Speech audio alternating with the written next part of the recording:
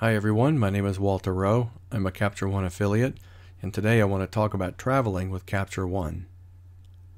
When we work with Capture One, we can work with sessions or we can work with, with catalogs. Sessions are very portable, they're very resilient.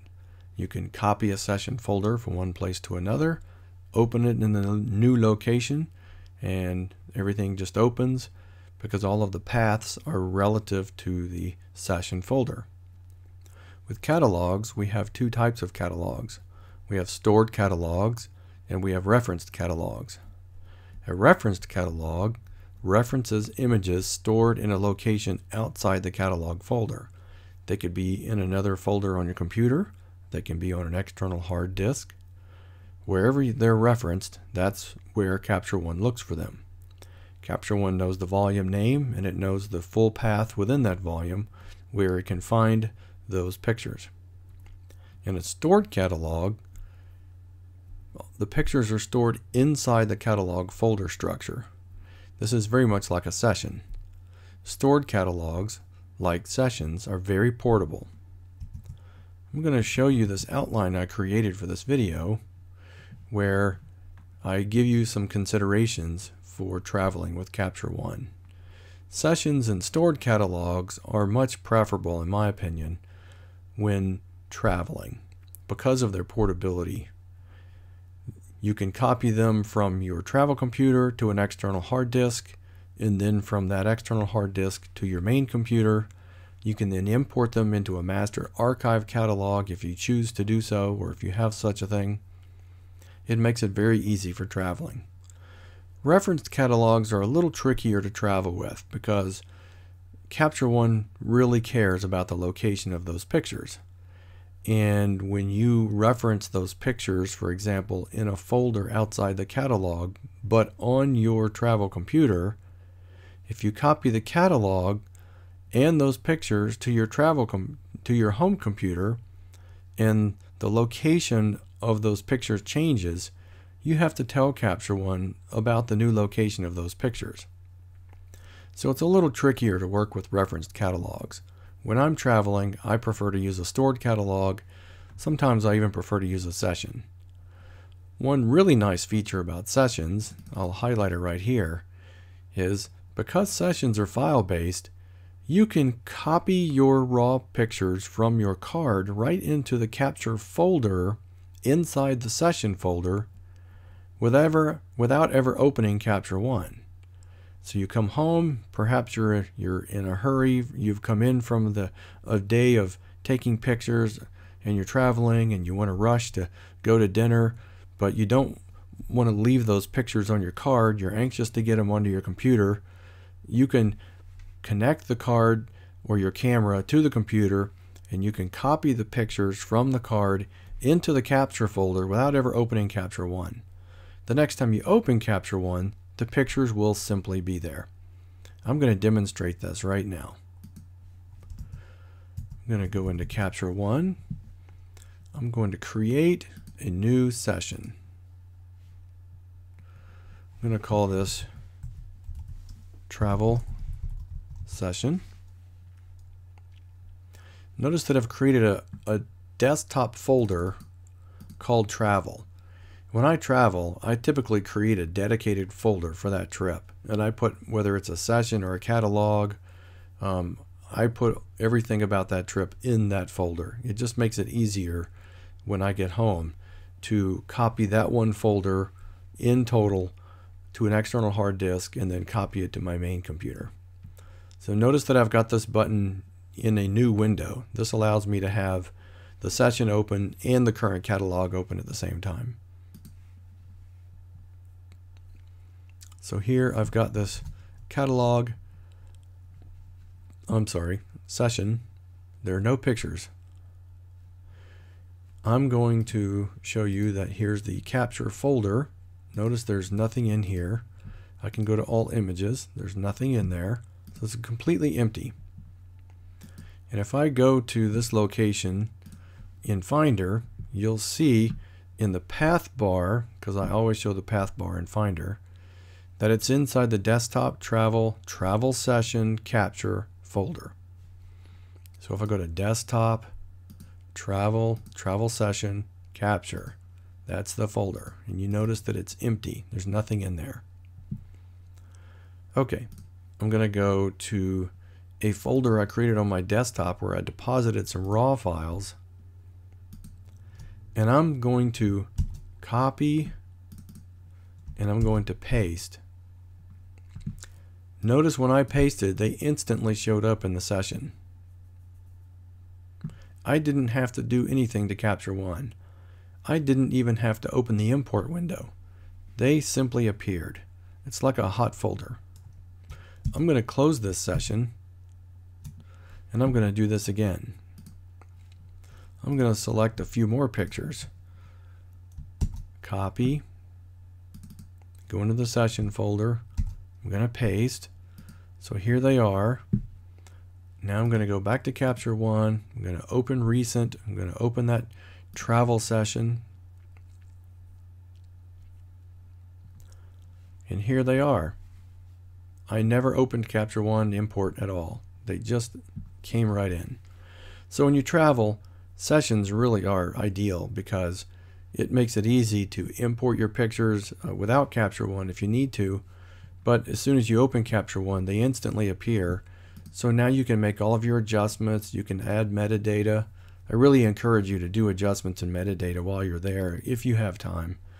Um, if your if your family is patient with you when you're traveling or your travel partners, um, or you take some time early in the morning, perhaps you're drinking your first morning cup of coffee, or maybe it's late at night and everyone else has gone to bed.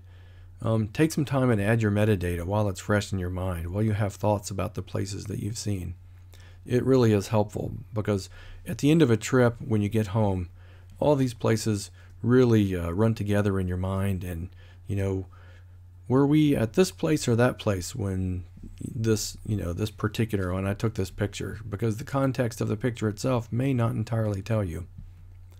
Okay, so here I will also use the import method to import into this. You'll notice that um, here's the pictures that were in the folder that uh, I'm going to say exclude duplicates.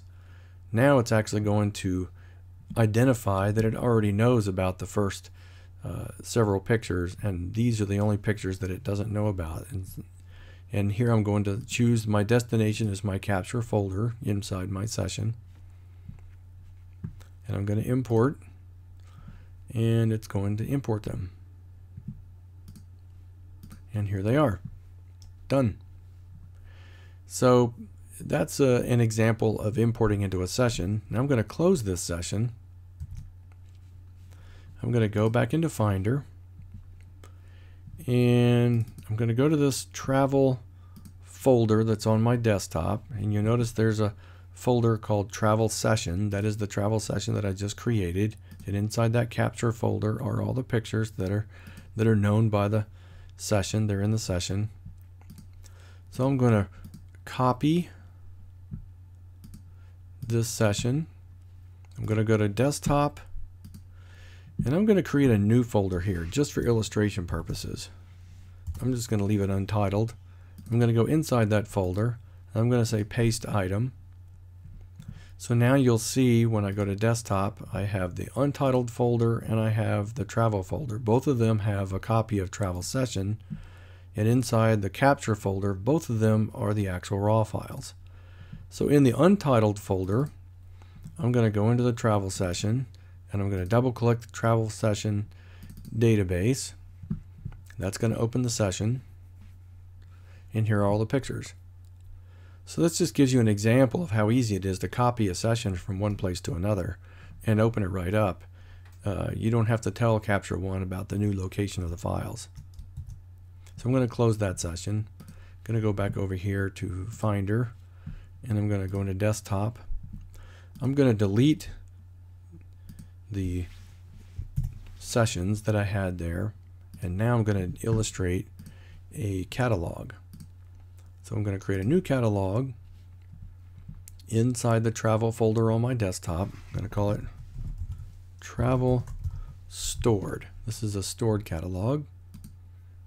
Stored catalogs and reference catalogs are the same, other than where they find their pictures. And you can have catalogs that have both stored pictures and um, referenced pictures in the same catalog. But it can be a little confusing when you do that. So here I'm going to select all images. You can see there's no pictures in this catalog. I'm going to import pictures, import images. Here I'm selecting from a folder on my desktop called card raw files. I created this subfolder with some sample pictures just to use as an example as though I was importing from my card. Rather than in the current location, I'm going to say inside the catalog. Now if you'll notice on the left hand side in the folder section, there's an area called in catalog. That means inside the catalog folder itself. So I'm going to import all of these pictures. They're going to import pretty quickly because it's all on local disk. I'm going to select in catalog and here they are. If I go to Finder in the in the raw folder, you can see that the original raw files are there. If I go into the travel folder on my desktop, there's the catalog, but you don't see the pictures. This catalog is a is a package. If you show package contents and then go into originals, you'll see that the original files are actually here in this uh, subfolder within the catalog itself. So this is a stored catalog. This is an example of a stored catalog.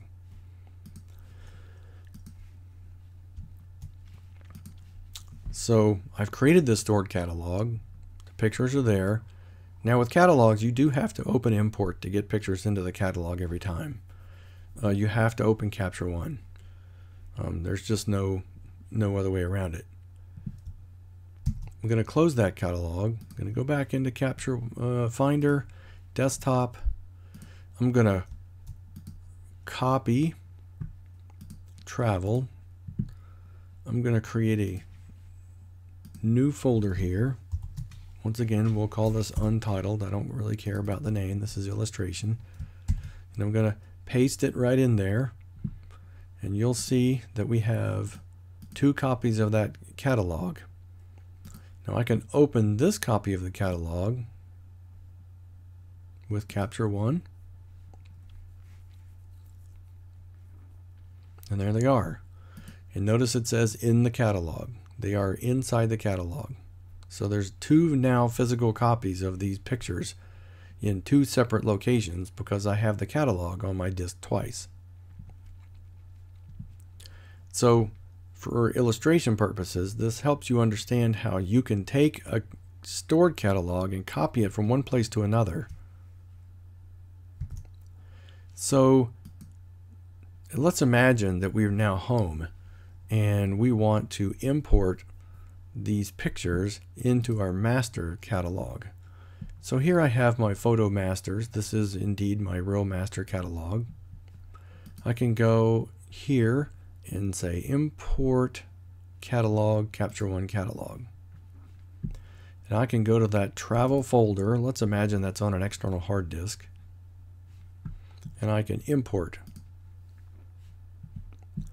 Notice right here in my master catalog, it now says there are 10 pictures. And there they are. So it has copied them from the stored catalog that I used while I was traveling into my master catalog. And if I go and say to show, so you can't show in Finder because it knows they're actually in the catalog and it doesn't want to take you inside the catalog. But if I go to Finder and go to Pictures, Capture One, here's my photo masters. I can show package contents. I can go to Originals, and here they are. They are truly stored in the catalog, just as I said they were. Now I don't really want these in here because I have already imported them previously. So I'm going to delete them. And you'll notice that now the trash says that there are 10 pictures, and there are those 10 pictures. And I'm going to empty the trash, and this will get rid of them now they're no longer in the catalog at all.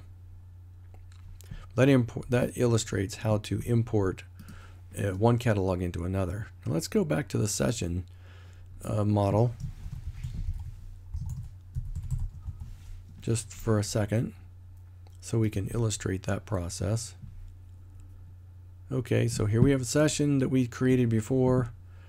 I'm going to import the raw files from my card. I'm going to store them in the capture folder within the session.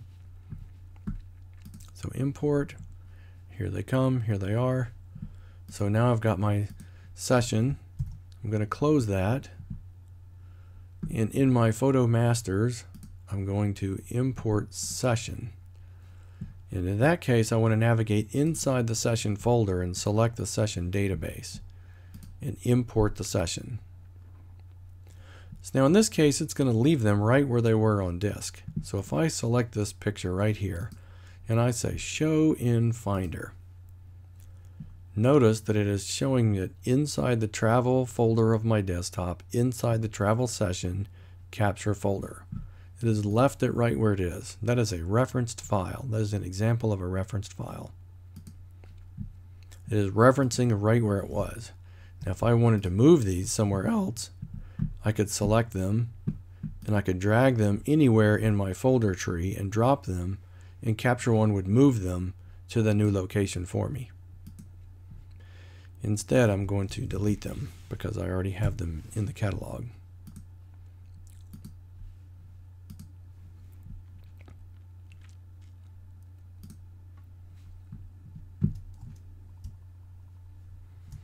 So let me go back over here and delete this session. Don't need the session or the stored catalog. Okay. Now let's try an example of a referenced catalog.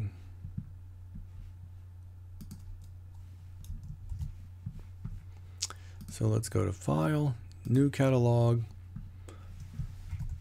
Travel, referenced. Now you notice that I didn't do anything different to create the reference catalog than I did from a stored catalog. Catalogs are catalogs, whether they're stored or referenced or both. They're just catalogs.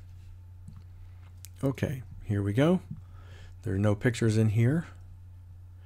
Now this time, let's imagine that I want to store my catalog, my pictures elsewhere, not in the catalog. So here, selecting all the, I have all the pictures to import. Rather than saying inside the catalog, I'm going to choose a, a location. Now maybe I know that while I'm traveling, uh, I'm going to be taking a lot of pictures and I really would prefer to put them on an external hard disk. Now if I put pictures on an external hard disk when I'm traveling, I like to put them in a dedicated top level folder. So in this top level folder, maybe I'll pick a new folder called in the air and maybe maybe pictures that I took while flying I'll put in there. So now it says in the air on my external hard disk. I'm going to select these first two pictures.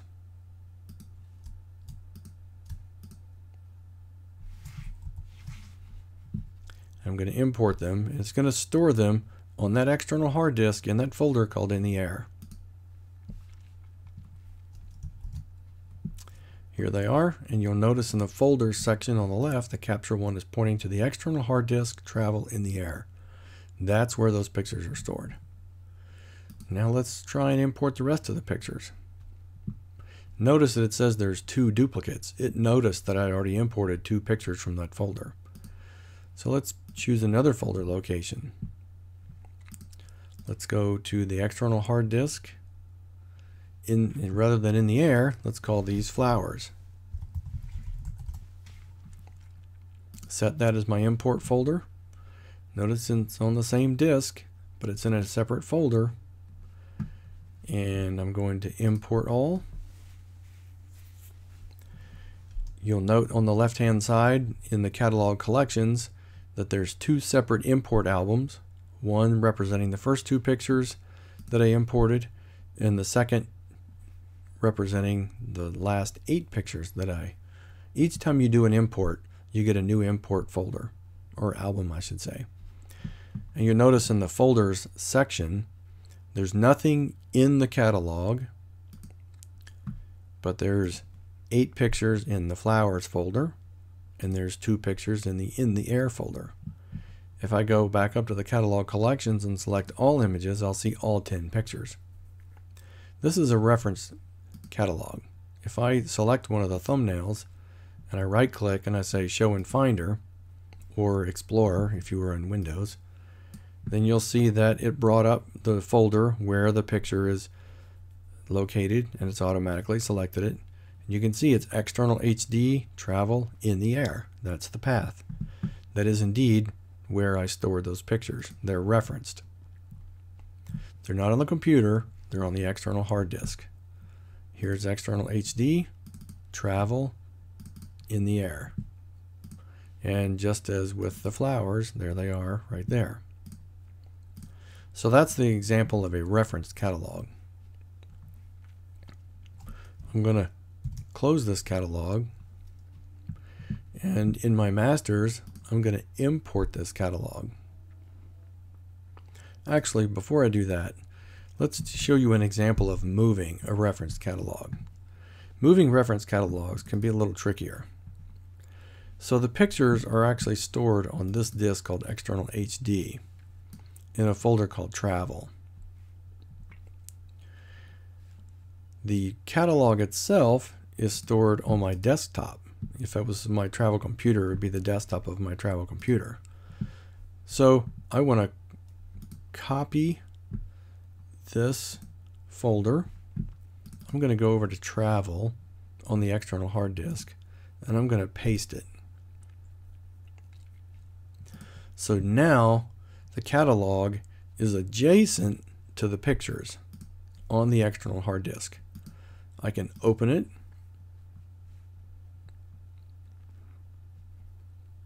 And there's the pictures.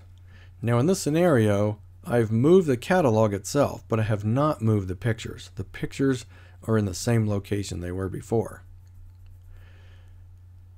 Now let's assume that I'm back at home if I want to import that catalog, I can go under File, Import Catalog, Capture One Catalog, External Hard Disk, Travel, and I can select that catalog. And I can import that catalog.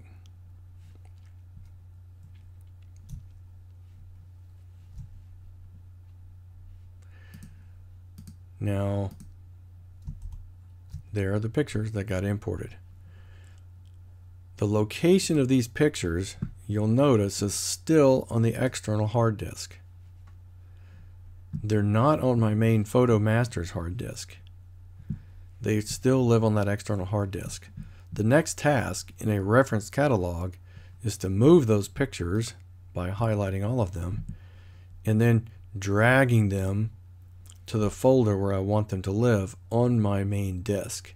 I'm not going to do that because these pictures are already in my master catalog but this is to illustrate how you would drag them and move them. Instead, what I'm going to do is I'm actually going to delete them all. I'm going to empty the trash. And when I do that, they're gone. And now I can remove this folder from this catalog. So now it's no longer referencing that external hard disk. And it won't look for it when I open the catalog. I'm going to look in here to see what it's looking for because, yep, that's gone. I can get rid of that. That was from our previous uh, import of that stored catalog. I'm going to delete that so it's no longer referencing that This is, because this is my real master catalog, I wanted to clean that up. Okay, so that illustrates a reference catalog, a stored catalog, and a session when traveling with Capture One. I hope this has been helpful for you. If you have questions, please leave them in the comments. If you have suggestions for other videos you'd like to see, leave those in the comments as well. My profile has a link to the Capture One store. I would appreciate you using that link when making purchases, whether it's a license or a um, subscription or perhaps a bundle with a license and style packs or just style packs alone. I get a small referral fee when you use my link for those purchases, and that would be helpful for me and tells Capture One that you appreciate my videos. Again, I hope this has been helpful for you, and I look forward to showing you more of the great features of why I love Capture One.